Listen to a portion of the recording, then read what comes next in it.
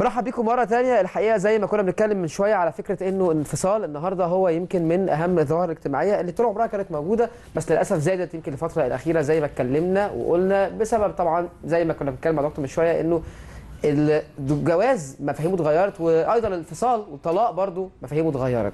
النهارده بنتكلم إزاي الطفل بقى اللي هو ممكن يكون نتاج هذه الزيجة الأولى أو يعني هذا الارتباط الأولي إزاي نقدر نتعامل معاه بالشكل إنه ما يبقاش بيأثر عليه الانفصال ده. تأثير سلبي وما ما يبقاش بعد كده بيهدمه في المستقبل أو بيهدم نفسيته في المستقبل. برحب النهارده الدكتورة سناء ثابت وهي استشاري تنمية مهارات الطفل واستشاري آه، علاقات زوجية. صباح الخير يا فندم. صباح النور. آه، زي ما قلنا يمكن الموضوع بيبقى صعب جدا آه، وأصعب ما فيه لو في أولاد. لو مفيش أولاد أعتقد بيبقى أول سؤال بيتسأل دايما خلفتي؟ لا. خلفت؟ لا. الحمد لله تمام خير وبركة. لكن لو فعلا في ذريه هي دي بتبقى مشكله مظبوط؟ طبعا أكيد بس أول ضحية في موضوع الطلاق هو الولاد. وأنا بقول لك دي وأنا منتهى ثقه لأن أنا أم مطلقة. أوكي. وكان عندي ولدين فللأسف الشديد أما الواحد بيبقى بيطلق بينسى إن الولاد دي موجودة وبيفكر في نفسه أكتر. مم. فبالتالي الولاد ما بتبقاش فاهمة.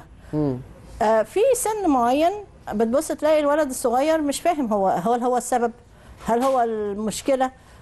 فالولد بيبتدي يزعل أو البنت بتبتدي تزعل وتحس إن هي لأ هو السبب في الانفصال السبب في ده. الانفصال ده. أوكي. أكيد هو ما بيحبنيش عشان كده سابني. لأن خلي بالك الأطفال حاسين إن هم في بيت وعندهم أمان وإن الأب والأم هم دول الدنيا بتاعتهم كلهم. فبالتالي لما يحصل حاجة ال- الشوك بتاعتها بتخلي الواحد يبقى مش عارف طب هو سابنا دلوقتي؟ طب هل هم ما بيحبونيش؟ طب هل هي كمان هتسيبني؟ هل أنا هبقى لوحدي؟ فطبعا دي كلها أفكار بتروح في عقل ال- ال- الطفل الصغير لحين ما يبقى في 8 سنين. مم. أو- يعني أو يعني يخش مرحلة المراهقة. عمرية بتفرق في في الانفصال؟ بتفرق جدا لأن الصغير طبعا بيحس إن هو آه، مش فاهم. وكتير جدا من الأهالي بينسوا إن هم يقولوا لاولادهم إيه السبب؟ أو مش عارفين. فبالتالي الطفل يلاقي نفسه لوحده آه، مع أم يا إما مكتئبة يا إما عصبية جدا يا إما ما عندهاش وقت لأن هي بتشتغل بقى عايزة تعوض. ما هو الديبندز الانفصال كان إزاي. مم. في جواز بيبقى واضح جدا إن الاثنين لازم ينفصلوا. والعيال بتحسها. لما الطفل يحس إن الأهل مش كويسين مع بعض بيبتدي يت... يبقى متأهل إن هم ممكن يتفصلوا بل بالعكس هو ممكن يقول لأهله لمامته اللي هو قريب منها أو لباباه انفصلوا. بس دايما يقول لك العيال مش فاهمة حاجة. يا عم ده واد صغير. يا عم مش عارف إيه. يعني لا غلط. الاستهانة بمشاعر الطفل. إيه موقفها في القصة ديت؟ بص الطفل بني آدم. ما هو أنت لو تفكر أنت أنت كنت طفل زمان ما أنت لما بتتولد بتبقى بني آدم. وليك عقل وليك فهم. أنت الفرق ما بينك وبين الطفل الصغير إن الطفل الصغير بيتعلم منك بيشوف إيه اللي ممكن بيحصل وهو بناء على كده بيتعامل. مم. هو ممكن ما بيفهمش في الأول لكن بيفهم. الطفل عنده مفهومية كويس قوي وبيعرف وبيفهم كويس قوي. فلا ما ينفعش إن أنت ما تمهدش الطفل. أنا أعرف واحدة آه، كانت عايشة مع جوزها فترة طويلة جدا وكان بيخونها بس كانت عايشة معاه علشان خاطر الولاد. هل دي حاجة صحية؟ لا مش صحية لأن الولاد حاسين. الولاد عارفين هي نايمة في الأوضة مع الولاد وهو نايم في أوضة لوحده. بس هي شايفة إن هي كده مضحية جدا وشايفة إنه أكيد ده الأحسن. هي شايفة إن أكيد ده الأحسن. ما هو بص دلوقتي بقى الدنيا اتغيرت والمادة دخلت في الموضوع جامد قوي. ففي ناس كتير جدا بتستحمل لأن هم بيحسبوها. أنا لو أنا اتطلقت هقدر أصرف على الولاد دي إزاي؟ وبعدين للأسف الشديد في أبهات كتير جدا أول ما بيطلقوا خلاص انتهى الموضوع. بيفقد الصلة. بنفس السنة في طبعا ناس آه زي ما إحنا كنا بنتكلم قبل كده لا متحضرين جدا وخلاص إحنا مش عارفين نعيش مع بعض فبالتالي آه ننفصل وفي آه كوميونيكيشن والولاد بيتكلموا مع بعض ويروحوا للأب ويروحوا للأم. بس لازم لازم أول ما يحصل حكاية الطلاق دي أو هتحصل حكاية الطلاق دي تاخدوا الولاد وتفهموهم. يا جماعة أنا مثلا حسب ال- السن طبعا. أنا وماما مش عارفين نعيش مع بعض. آه، إحنا الاثنين مختلفين. مش معناتها ان إحنا ما بنحبكش ودي مهمة جدا. مش معناتها ان إحنا ما بنحبكش إحنا بنحبك جدا بس إحنا مش قادرين نعيش مع بعض. امم طب إيه بقى ردود الافعال اللي بتبقى متو... في- الحالات دي؟ أو متوقعة في حالة الطلاق بقى من خلينا نتكلم من اللي قبل 8 سنين ثم بعد 8 سنين. واتعامل مع كل رد فعل إزاي؟ طبعا بالنسبة قبل 8 سنين الطفل بيحس إن هو آه، في مشكلة إن هو مش محبوب فعايز يرجع تاني للسن أو الوقت اللي هو عايز يتحب فيه فبيرجع لورا سنيا بيرجع لورا وتلاقيه آه، طبعا متضايق جدا وممكن خايف خايف إن هو زي ما بقول لك الأم تسيبه كمان فهو يبقى في آه، عايش لوحده بيبقى خايف إن هو لما يروح المدرسة يرجع يرجع ما يلاقيش مامته أما يروح المدرسة بيبقى مش مركز. وبيبقى آه، عصبي وبيبقى عنده ميول عدوانية. لأن هو مش عارف يطلع ال- ال- الزعل بتاعه إزاي. فبالتالي مثلا ما يسمعش الكلام. آه، يعمل يبقى طفل طبعا بيفقد الطبيعة بتاعته لأن هو طفل مش فاهم اللي بيحصل إيه وخايف. لغاية أما الطفل يبتدي يحس إن هو لأ آه، مامته وباباه لازم بقى يبقى لهم دور هنا في الحتة دي إن هم ياخدوا الطفل ويفهموه إن هو لأ لازم تاخد أنا بحبك والدنيا آه، كويسة ولما يروح للأم ولما يروح للأب يبقى ما فيش ده يقول ده حاجة على ده ولا ده يقول حاجة على ده. هي دي بقى. هو ده المهم جدا. وبعدين أهم حاجة من كده إن ما فيش حد فيهم يستخدم الطفل كوسيلة ضغط. لل- للتاني. سواء ضغط أو تهديد أو أو- بالظبط. أو تأثير أو كده. آه طب إيه هي كلام نظري حلو قوي؟ ومفروض ما يحصلش المفروض ما يعملش المفروض كله تمام. بس إحنا زي ما حضرتك واكيد بحكم خبرة حضرتك وشغل حضرتك مم. بيجي لك كيسز طول الوقت. أيوه. إيه إيه اهم مشاكل أو المظاهر اللي حضرتك بتلاحظيها في المجتمع المصري؟ اختلاف طبقاته عند الانفصال من أي طرف. يعني من الطرفين إيه اهم حاجات شايفاها اللي هي مشاكل مزمنة دايما بتتعاملي معاها مع انه ده المفروض ما يحصلش خالص؟ مثلا موضوع التأثير أو كروت الضغط الكلام الوحش من ناحيتين إيه تاني؟ بص هو طبعا لما بيحصل طلاق آه، حسب طبعا الطلاق حصل إزاي. يعني مثلا لو لو الراجل اللي هو اللي طلب الطلاق أو الست هي اللي طلبت الطلاق أو لو هو آه، قرر إن هو يتجوز حد تاني كل ده بتفرق. بس في الأول لما الطلاق بيحصل عامة بيبقى في فترة كده زي ما تقول بلا إحساس. امم عارف زي ما منمل امم وبعد الفترة دي بيحصل اللي هو بقى اللي بنسميها الاكتئاب اللي نتيجة مثلا زي ما يكون حد مات عندك. امم ولازم تعدي المراحل دي لأنك لو ما عدتش المراحل دي يبقى في حاجة مش مظبوطة. امم فبالتالي بت... بتعدي المرحلة يعني دي دي حاجة صحية. آه طبعا. آه طبعا لأن أنت أنت تخيل إن حد ساب البيت حد. حد مشي من حياتك. فدي بتبقى صعب جدا إن أنت تحس إن البني آدم ده آه موجود وإن الدنيا طبيعية. غير بقى إن أنت عندك ال- ال- الضغط بتاع إنك عندك طفل. فإزاي هتعمل الطفل؟ بعد ما بتخش في دماغك طب أنا هعيش حياتي إزاي؟ آه ده المرحلة الثالثه بقى. أنا عايز أعيش حياتي. فهعيش حياتي إزاي؟ طبعا زمان كان في العيلة والأب والأم والجد والجدة بياخدوا الولاد والكلام ده كله وطبعا ده بيبقى حاجة بتساعد. لكن دلوقتي إحنا زي ما بقول لك الدنيا اتغيرت فما بقاش فيه الحتة دي. فالست ملزومة إنها تبقى مع الولاد على طول. فطبعا بتبقى عصبية مش عارفة تعمل تتعامل إزاي فبتطلعها على الولاد من غير ما تقصد. امم فبيبقى في آه ساعة تبقى جامدة قوي معاهم وساعة تبقى بتاخدهم لأن هي حاسة بالذنب فساعة تاخدهم وتحضنهم وساعة تبقى وبعدين بقى الإحساس إن هي لازم تخلي الولاد دول ينجحوا. لأن هي لو ما خلتش الولاد دول ينجحوا الناس هتقول عليها فاشله بس ماشي ده نوع أنواع الضغط. بس في الضغط التاني بقى بتاع فكرة إنه ده بيفكرها بيه. مثلا. آه لا دي بقى حاجة تانية. إن ده تفكير دائم بعلاقة غير سعيدة. في سيدات ما بيعرفوش يفصلوا ما بين الفاكت إنه ده شخص وده شخص تاني أو إن ده. وأول ما يحصل خناقة آه يفكر آه، زي زيك زي أبوك ومش عارف إيه الكلام ده كله. حاجات برضه اللي هي سلبية جدا الحقيقة. بص هي غصب عنك. غصب عنك لأن أنت تملي بتشوف الحاجات اللي هو لأن في وراثة في عامل وراثة وفي تطبعات من الأهل. فغصب عن الست لما حد آه، لما حد من ولادها بيعمل حاجة وخصوصا الولاد لو شبه باباهم أو العكس لو شبه مامتهم. مم. فكتير جدا من آه، الستات بتتطبع. آه، ابنها مثلا إن هو اللي عمل حاجة زي باباه. أنا كتير جدا بيجوا يقولوا لي كده. أنا متضايقة جدا من ابني لأن هو بيعمل حاجات زي باباه. لا ما هو انت انت عشان انت شايفة أو متضايقة من باباه فانت بتسقطي عشان هو ده ولد إن ده زي باباه. وفي ناس بتبتدي تاخد الولاد كأن هم مثلا هم اللي بيربوه هم الكبار مش الصغيرين. يعني بيعتمدوا على الولاد انه معلش يا ماما ما تزعليش يا ماما والكلام ده كله. طبعا آه، في ناس كتير جدا بتبقى ماشية صح. بعد ال initial بقى ال- ال- ال- الخطوات الثلاثه دول بتبص الناس تبتدي بقى تصحصح لكن الولاد لازم كمان الم- المدرسة تعرف إن في مشكلة في البيت. يا آه طبعا. آه طبعا. okay. لأن هيحصل تغيير في المدرسة.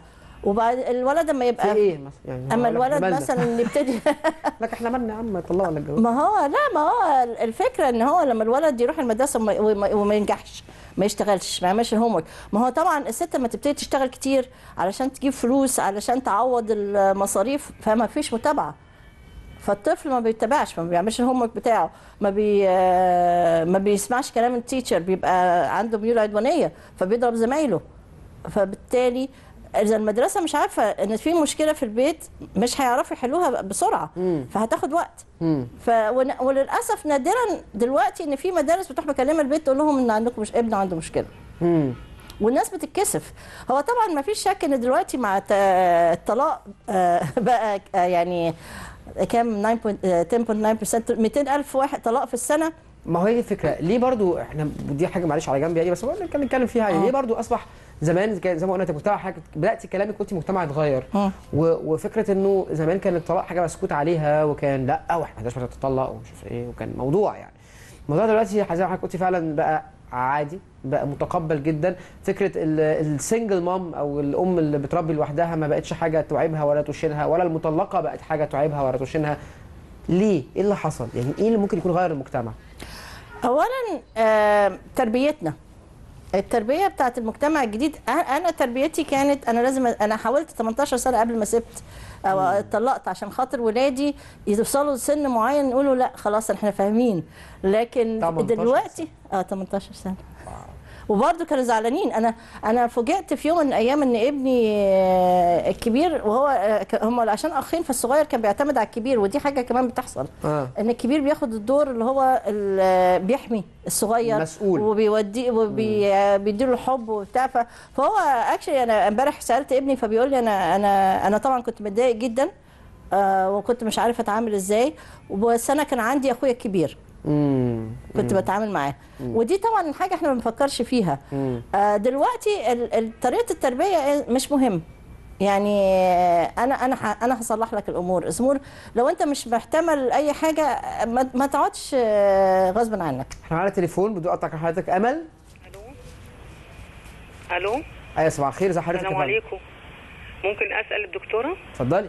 آه والله يا دكتورة حضرتك بتتكلمي في موضوع مهم جدا جدا جدا. آه اولا أنا أنا يعني أنا أولادي كبار وأنا جوزي مسافر طول عمره. بس يعني في رغم إن أنا مربية أولادي وباباهم ممكن مثلا أنا عندي أصغر واحد في تجارة إنجليش. آه رغم إن كده ما هو ما شافش باباه غير مرتين ثلاثة في السنين دي كلها. على الرغم إن كده واخد طبع باباه فظيع. طبعا يعني يعني حتة اللي أنا أنا طبعا ست يعني إيه ربة بيت ولا خرجت الشغل ومكرسه حياتي وكله لاولادي بس للأسف يا دكتورة ولادي واخدين طبع وخصوصا الصغير دوت اللي هو في تجارة إنجليش ده طبع باباه على الرغم إن هو ممكن ما شافوش مرتين ثلاثة بنفس الأسلوب ونفس الجموديه بتاعة القلب و- وممكن مش مش مثلا ما يخافش عليا ما مش حنين عليا. على اخواته نفس الوضع يا دكتورة. يعني بصراحة يعني مش عارفة أتصرف معاه إزاي. ده عشان باباه بعيد ولا علشان خاطر آه، تربية؟ رغم إن أنا ولادي البنت والولد تربيتهم بسم الله ما شاء الله ده اللي مختلف تماما. آه، معلش يا- ريت تفيديني يا دكتورة أتصرف إزاي؟ رغم إن أنا ما بخرجش من البيت أصلا. في الثانوية العامة كنت قاعدة معاه آه، يعني الحمد لله وربنا وحده هو اللي عالم بس للأسف هو الطبع بتاع الولد دوت واخد طبع باباه تماما تماما اشكرك جدا ميرسي والسؤال شكراً، يوصل للدكتوره. هتسمع بقى الرد الدكتوره.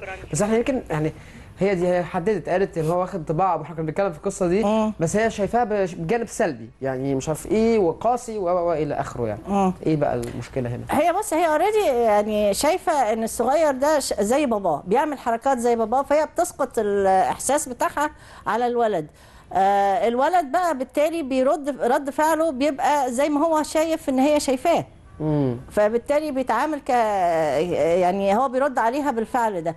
الفكرة بقى إن هي لازم تقعد مع نفسها شوية وتفكر إن لأ ما ينفعش ال- ان ده مش أبوه. ده ابني مش أبوه. وأنا اللي مربياه. تفصل. تفصل الاثنين تبص على الحاجات الإيجابية اللي هو بيعملها. آه لما لما تبتدي تفكر إن لا ده مش لازم ده مش بابا ده ابني أنا تبتدي بقى تفكر لأن هي مربياهم. وهي بتقول لك إن هي قعدت معاهم آه، فترة طويلة. ما هو آه، يعني انت قعدتي معاه وعارفاه. ما تب... انت واضح جدا إن إن انت مش ما ما سمحتيش جوزك أو الإكس بتاعك. امم فبالتالي آه انت بتطلعي اللي جواكي في اللي انت شايفاه في ابنك الصغير. لا ما تعمليش كده. اقعدي فكري مع نفسك. شوفي الولد ده فعلا شخصيته إيه. وبعدين اتكلمي معاه. قولي له مثلا لو في حاجة مضايقاكي اتكلمي معاه. لأن بيحصل فيه حاجات كده. أنا ما أضحكش عليك. أنا أنا وأنا اول ما طلعت كنت بقول إن ابني كبير زي بابا. بس بقى أما ابتديت أحس أو أعرف وأفهم وإحنا الاثنين قعدنا اتكلمنا مع بعض حلينا المشكلة. هي مش سهلة. لأن لازم عشان تقعد مع نفسك وتفت و... وفعلا تحسي إن انت خلاص صفيتي. حصل حصل. وبعدين واضح إن هو بقاله كتير. فبالتالي آه، مفيش داعي إنك تبدي شايلة. انت انت على فكرة آه، الأمهات كتير جدا بيحسوا إن هم ضحوا عشان ولادهم. لأ هم أولادكم قالوش أنا عايزة أجي. أنت اللي جبتوهم فبالتالي الولاد من حقهم إن أنت تعملي كل ده عشانهم. يعني هو ما الولد تحملهمش العبء النفسي ده. بالظبط بالظبط. وبعدين يعني هو المرحلة الثانية اللي إحنا ما اتكلمناش عليها اللي هو المراهقة. آه ما هي دي بقى. السن المراهقة ده بيبقى مختلف شوية ليه؟ لأن هو المراهق بيبقى خلاص بطل يبص على البيت كان هو أهم حاجة بالنسبة له. هو مش ده العالم الصغير بتاعه. لا خالص هو ابتدى بقى عايز يبقى عنده ثقة بنفسه بيشوف ويبقى حياته بقى. آه. بالظبط وعنده اصحابه بس برضه هو بقى الزعل بتاعه ده بيبقى أوحش.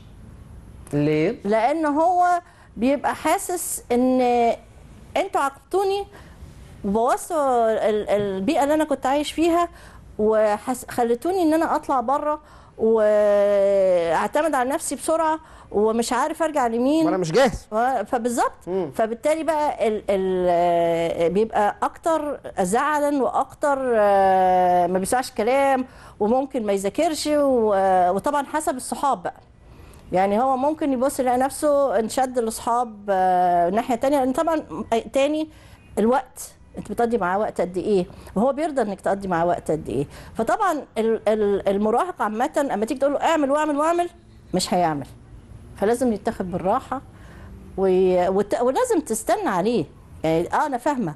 خش في الموضوع أنا فاهمة أنت زعلان ليه أنا فاهمة اللي حصل إيه بس ال- الم- الموضوع واحد اتنين تلاتة أربعة. أنا أنا بحبك جدا وهو الأمر مالكش دعوة بال- بعلاقتي أنا وباباك دي حاجة أنا ما ما نفعتش. ما هو أنت مش عندك صحاب ممكن ما تحبهمش بعد شوية. هي نفس الفكرة. لما أنت ما تحبهمش ليه؟ علشان خاطر هم مش ماشيين معاك على نفس الخط.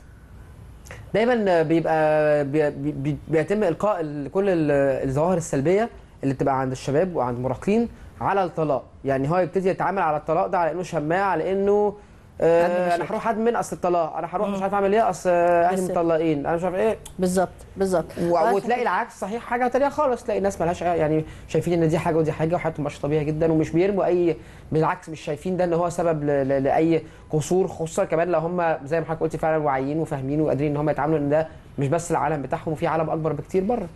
أكيد. وبعدين بص هي هي الخلفة مسؤولية. ولازم الواحد يفهم إن أنت مهما كان من أول ما خلفت لغاية أما الطفل يشتغل أنت مسؤول عنه. امم فبالتالي طبعا الدرجات وطريقة التربية اللي أنت بتعملها بتستخدمها ممكن تفرق. ما تديلوش كل حاجة ما تعملش معاه كل حاجة. لأن أنت لو عملت له كل حاجة واديت له كل حاجة الطفل ده هيكبر متوقع إن الناس كلها هتعمل له كل حاجة. وهنا بقى المشكلة لأن معظم الناس في السنين اللي فاتت ابتدت تعمل كده لأولادها. فبالتالي أي حاجة بتحصل الأب والأم بيخشوا على طول يحاولوا يصلحوها. صحيح. فلما الطفل عايز يغير مدرسة بيغير مدرسة عايز يجيب مش عارفة موبايل بيجيب موبايل. زعلان من حد بي- بيخشوا ال- يكلموا الدلع زيادة بالظبط. في التدليل. فب- فبالتالي اللي بيحصل إن ال ال الست أو الأم بتدي للطفل الإحساس إن هو حتى لو ما ينفعش الجواز بتاعه ممكن يتطلق. فدي مش مشكلة. امم فطبعا الناس كبرت على أساس إن إيه يعني هتجوز ما نفعتش هتطلق. وده وده يمكن اللي غير الثقافة والمنظور يعني. بالظبط بالظبط. آه، دكتور سلاء ثابت استشاري تنمية مهارات الطفل واستشاري العلاقات الزوجية بنشكرك. ويا رب يكون يعني أي حد برضو ما لحقش يتابع الفقرة يتابعها على يوتيوب وتبقى معانا تاني إن شاء الله. باذن شاء الله. ميرسي جدا. thank you لسه مع حضراتكم خليكم معانا.